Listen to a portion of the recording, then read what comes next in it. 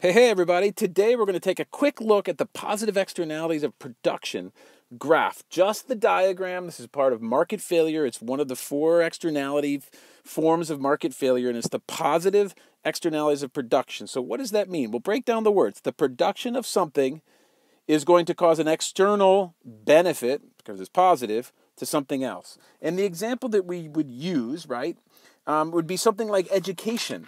Like if a firm trains a teacher in IB economics by sending them off to an IB training and then they go to another international school, that school benefits from this external um, education that the, from the, that school benefits from the education of that teacher that they received at the previous school. The new school doesn't pay for that. They just get the benefit along with hiring the employee. So what would that look like?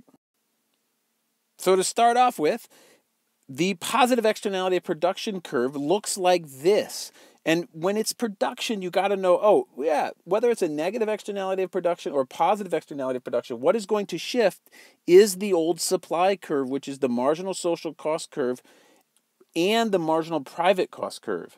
Okay, so when you have production, it's going to be the old supply curve. When you have consumption, it's going to be the old demand curve, which is now called the marginal social benefit, and the marginal private benefit curve. Okay, but here we go positive externalities of production. That means that the marginal social costs are going to be um, greater actually than the marginal private costs. How do we know that? Well, because the production of, let's say, um, high quality training for employees, the example of a, tr- of a, a teacher going off and going to IB training, what's going to happen is that that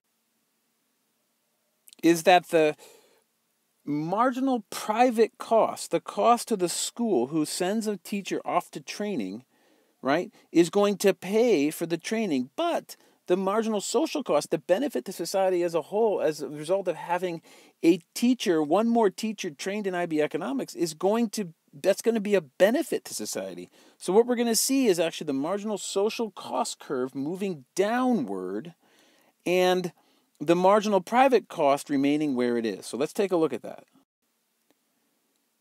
So here it is. Check it out. So as a result of the training, the marginal private cost, the firm paid this price, P1Q1. But as a result of the training, the person who receives the training, there's actually an entire benefit to society. And that's benefit to society is represented in this triangle right here marked in green. Right? So when a private firm pays a teacher, a school pays a teacher to go off and get training, they're, they are incurring the cost, but the benefit of society is actually a, um, shown by moving the marginal social cost curve down. So the optimal point of social efficiency would be point A.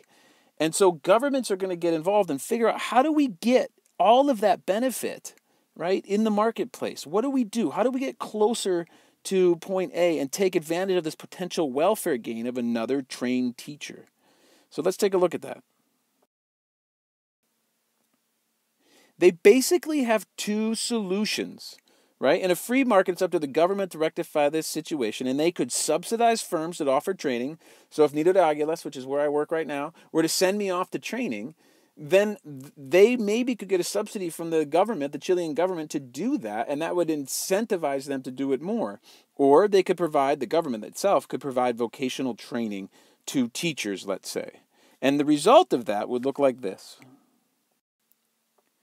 It would be any movement of the of the marginal private cost curve downward and taking up any portion of this pot- potential welfare gain that's marked here in the green triangle, right? If they were to subsidize this, um, the, the training of teachers, then you would get something like this, where you would have the MPC plus the subsidy, right? And what that would do is create a new market equilibrium that would be closer to that magical point A, right?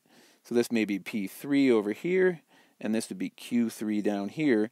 And you would see that what would be left is that the only a potential welfare gain that's left would be this small triangle there. And by subsidizing a particular firm that sends its teachers off to training, um, the government could push and take advantage of the welfare gain entirely. Okay, I hope, hope you thought that video was helpful, and we'll talk to you in a bit.